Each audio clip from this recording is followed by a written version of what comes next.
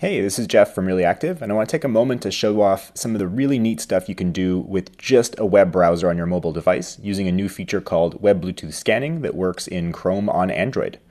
So here's our Pareto Anywhere web app edition, uh, and if you click the scan button to start uh, scanning and allow your phone to do that, uh, you'll see that all of a sudden you have all this data about uh, devices and proximity. So what we're looking at here is essentially real-time occupancy, the number of packets detected, and the number of devices that are around the phone at this moment. Can move on to another use case, which is uh, personnel tracking. So for instance, I have on my uh, keys a little fob here, and uh, with that, um, I'm emitting Bluetooth packets, and it's mapped up to my digital twin. Yeah, that's that's my face. And you can click to see as well how I'm being decoded. Another interesting use case, environmental sensing. This is a temperature and humidity beacon, and uh, there you see it's from the manufacturer Minew.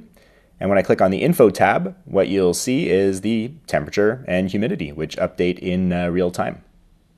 So with this web Bluetooth scanning feature, you can really detect anything in range, and of course uh, map a digital twin to it. And in this case, this is uh, this is my dog who's uh, been with me while I'm self isolating at home. Thanks for watching, and stay healthy.